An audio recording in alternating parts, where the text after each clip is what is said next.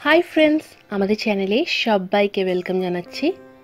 আজকের এই ভিডিওতে আমি একটা দারুণ স্বাদের মিষ্টি তৈরি করে দেখাবো। মিষ্টিটার নাম হচ্ছে গোলাপজাম ঘরে কীভাবে গুঁড়ো দুধ দিয়ে এই গোলাপজাম তৈরি করা যায় সেটাই আজকে শেয়ার করব। ভিডিওটা ভালো লাগলে প্লিজ একটা লাইক করবেন। তাহলে চলুন ভিডিওটা শুরু করা যাক। এই গোলাপজাম তৈরি করার জন্য আমি একটা থালা নিয়ে নিয়েছি এরকম বড়। তার মধ্যে প্রথমে এক কাপ আমি গুঁড়ো দুধ দিয়েছি আর হাফ কাপ দিয়েছি ময়দা। এবার দিচ্ছি হাফ টিস্পুন বেকিং পাউডার। তারপর দিচ্ছি একটু ঘি।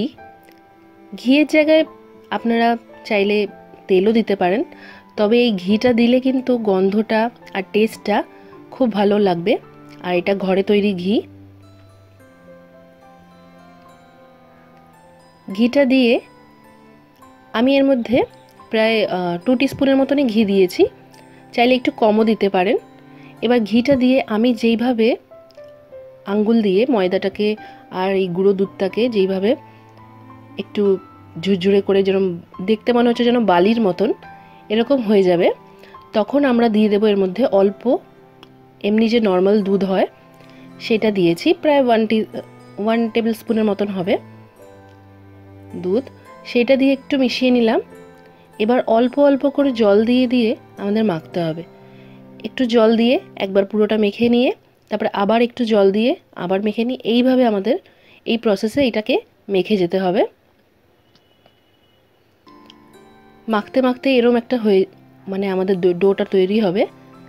পুরো গাটা তখন মসৃণ হবে না, তখন আমাদের হাত দিয়ে দিয়ে এই যে আমাদের, আমি যেইভাবে মাখছি একটু পেছন দিক দিয়ে এইভাবে ঠেসে ঠেসে এটাকে মিহি করে নিতে হবে। এর স্কিনটাতে যাতে কোনোভাবে যখন আমরা এর বলসগুলো তৈরি করব, গোলাপজাম মিষ্টিটা তৈরি করব, তখন যাতে এর মধ্যে কোনো ক্র্যাকস না আসে, তাই জন্য একদম এইভাবে ঠেসে ঠেসে মেখে নিতে হবে। আমার ডোটা তৈরি হয়ে গেছে। দেখতেই পাচ্ছেন? এবার এর থেকে আমি ছোট ছোট কয়েকটা বলস বানিয়ে নেব। এইভাবে লেচি কেটে নিচ্ছি। আমি যে মেজারমেন্টটা দিলাম, তা দিয়ে আমার প্রায় সাতটার মতন হ্যাঁ যেই সাইজের গোলাপজাম হয়, সেই সাইজের মিডিয়াম সাইজের আমার গোলাপজাম তৈরি হয়েছে। আর তার সাথে একটা ছোট্ট আমি গোলাপজাম বানিয়ে রেখেছিলাম। আপনারা মেজারমেন্টটা একটু বাড়িয়ে নিয়ে আরও বেশিও তৈরি করতে পারবেন। লেচি কেটে নেওয়ার পর হাত দিয়ে দিয়ে এইভাবে সুন্দর করে আমাদের গোল তৈরি করে নিতে হবে যাতে গায়ের মধ্যে কোনো রকম ফাটল ক্র্যাকস না দেখা যায়।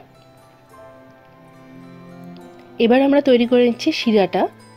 শিরা তৈরি করে নেওয়ার জন্য আমি এখানে দিচ্ছি দু কাপের মতন, ভর্তি ভর্তি দু কাপের মতন জল দিচ্ছি। তারপর এর মধ্যে আমরা দেব দেড় কাপের মতন চিনি। মানে হচ্ছে দু কাপ জলে আমি দেব দেড় কাপ চিনি। আমি আমার যে জিনিসপত্রগুলো যাও ইনগ্রিডিয়েন্টস ইউজ করেছি, সেটা আমি ডিসক্রিপশন বক্সে লিখে দেব। প্লিজ ওখান থেকে চেক করে নেবেন।